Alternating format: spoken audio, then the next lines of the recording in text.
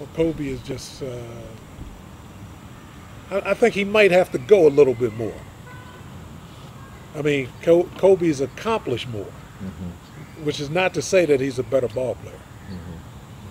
They've, uh, you know, they both reached the same heights where they were, they were, they were, they were the best basketball players of their time. Kobe won't get there again because of age. LeBron can still stay there for a couple, few more years because of his age, going, the, you know, going the other way. Mm-hmm. But um, uh, but as far as accomplishments on the court and everything, I think he needs to win him, at least another one when talking the same breath, for you know to put him in the same sentence. You that's, know, that's Kobe. as Kobe. Yeah. Uh, what do you think about LeBron's move back to Cleveland?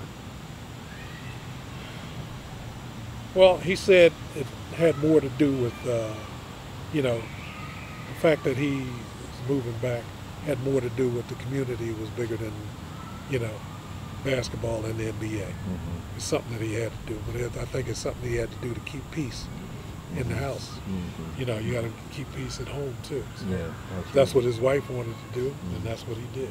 Is that a huge thing? Uh, what, what do you think about you know uh, athletes being community conscious? Do you think that's a huge responsibility that they should take on? I think they should take on community. They should be more active. They should be more active in the community. And when people say that I'm not a role model, you should make the, uh, you know, you should make the, the parents should be their role models.